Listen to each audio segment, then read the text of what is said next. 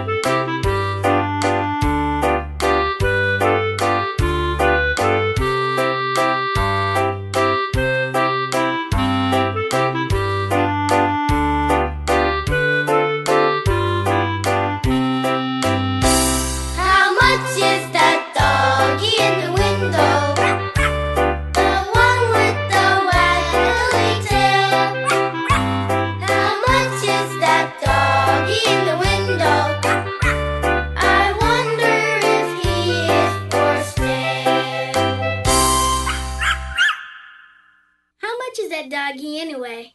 I don't think we have enough money to buy it.